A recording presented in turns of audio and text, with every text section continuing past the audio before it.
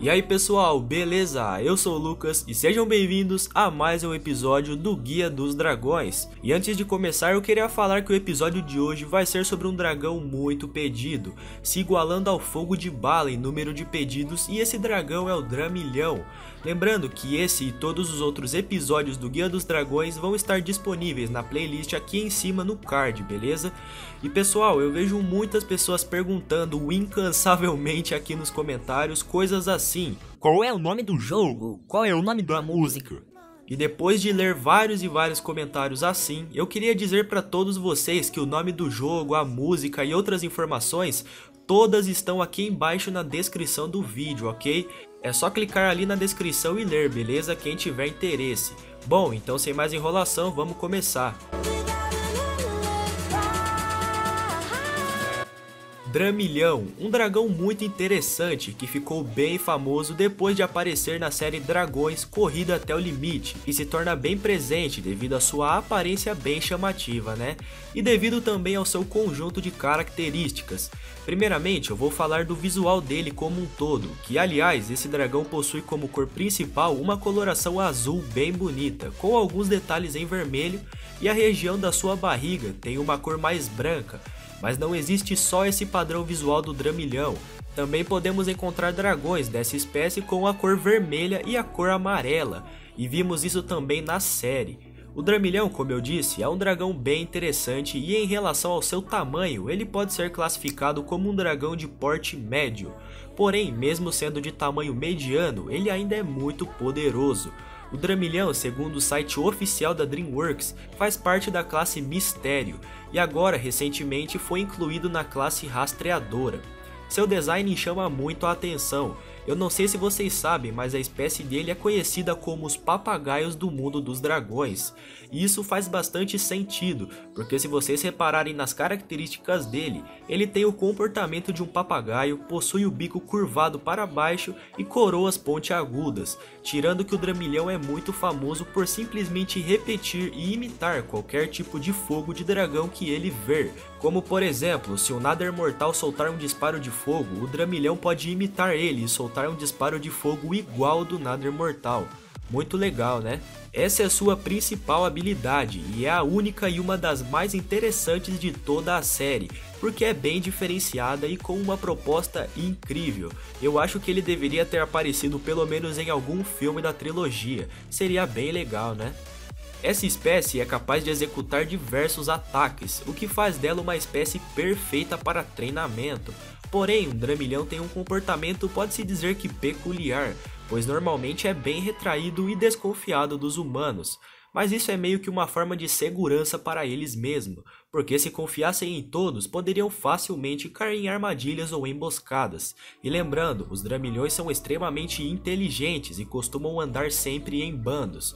E quando um do bando está em perigo, eles fazem de tudo para proteger seu companheiro, o que nos leva a pensar que eles são uma espécie de dragão bem leal. Então quer dizer que um dramilhão pode ser treinado? Sim, como eu acabei de dizer, um dramilhão é um dragão perfeito para se treinar, mas é claro, sempre com confiança e muito respeito. Essa espécie é bem semelhante à espécie do picada veloz em relação à convivência, pois eles vivem em bandos e respeitam ao rei do grupo. E assim como os picadas, o dramilhão é muito rápido em terra. Mesmo podendo voar, a velocidade do seu voo não se compara à sua velocidade quando está no chão. E os dramilhões, mesmo sendo muito fortes juntos, também possuem fraquezas. Eles são propensos a cair no controle de uma das espécies alfa, ou seja, eles podem facilmente ser controlados. Outra fraqueza é se sua cauda ficar pesada, eles ficam extremamente lentos e incapazes de voar. Os dramilhões também são bem frágeis e sons muito altos deixam eles desorientados. E outra fraqueza, eles são alérgicos a oleandro azul. Para quem não sabe, oleandro azul é uma flor venenosa que faz mal para alguns dragões. Agora eu vou falar para vocês uma curiosidade. Vocês sabiam que o Dramilhão Azul com chifres azuis, que aparece na série Corrida até o Limite, exclusivamente está na sua forma Titã? Muito interessante, né? O Dramilhão na sua forma Titã não muda muito comparado a um Dramilhão na versão adulta, mas suas características ficam diferentes. Por exemplo, seu tamanho. Ele na forma Titã pode ser muito maior que o Dramilhão adulto normal. Nesse modo, ele tem uma cor azul mais escura com os detalhes vermelhos em suas costas, nas asas e na cauda. Suas pontas também são azuis escuras, em vez de brancas. E após atingir esse estágio, o Dramilhão ganha uma nova habilidade.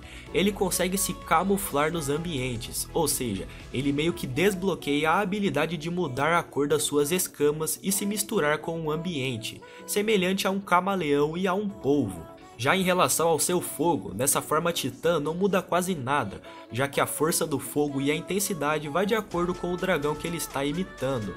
Mas, antes que vocês me perguntem nos comentários, ele também possui um tipo de fogo próprio, mas é um fogo básico, já que depois vai ser transformado em outro. Na verdade não é um fogo básico, é um fogo comum, que depois vai se adequar de acordo com a imitação. Mas cuidado para não confundir, Aí na tela tá uma comparação, um Dramilhão na versão adulta e um Dramilhão asa de titã. É só prestar atenção nas cores e nos detalhes. Antes de finalizar o vídeo, eu quero contar para vocês outra curiosidade. O Perna de Peixe, na série Corrida até o Limite, descobriu que seus ancestrais caçavam os dramilhões e por esse motivo ficou surpreso quando descobriu que ainda existia dragões daquela espécie naquela ilha.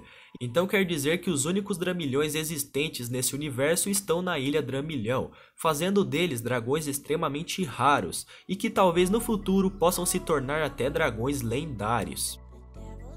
E bom pessoal, por aqui se encerra mais esse episódio do Guia dos Dragões. E se você gostou e quer mais vídeos dessa série, deixa o like, se inscreve no canal e ativa o sininho das notificações para não perder nenhum conteúdo novo.